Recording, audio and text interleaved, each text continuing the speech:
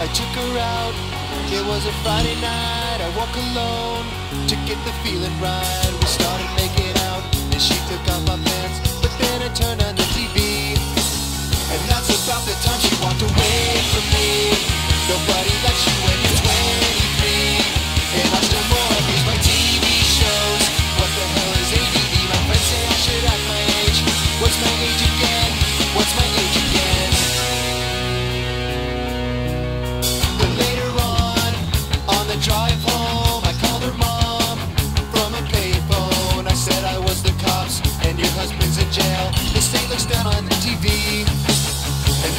about the time that bitch hung up on me Nobody likes you when you're 23 And I'm still more abused by painful calls.